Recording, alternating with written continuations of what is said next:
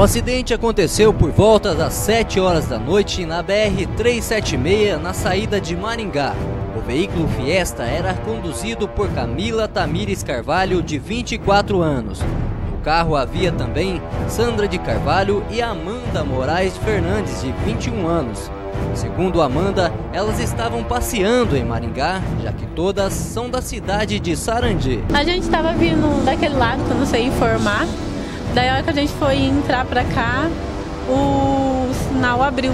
Daí pegou de cheio a caminhonete e nós. Vocês são moradores de onde? Nós moramos em Sarandi. Eu tava vindo passear pra cá. Aham, tava casa de uma prima nossa aqui. Passamos o dia lá e ia embora agora. Vai passar a noite no hospital, suas amigas?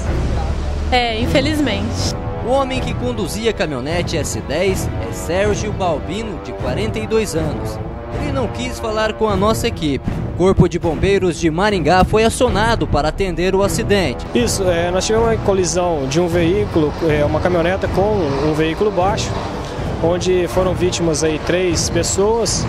O estado de saúde delas é estável, é, elas vão ser encaminhadas aí para algum hospital da região que vai ser regulado pelo médico de SAMU. Quantas pessoas havia dentro do veículo?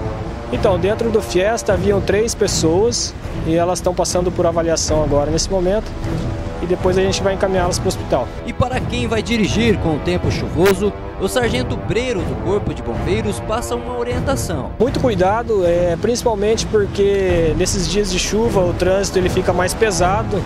Existem vários carros na rua, caminhões, então é, o trânsito fica mais lento também. Então todo cuidado é pouco. As vítimas foram encaminhados até o Hospital Universitário de Maringá e ficará sob os cuidados médicos.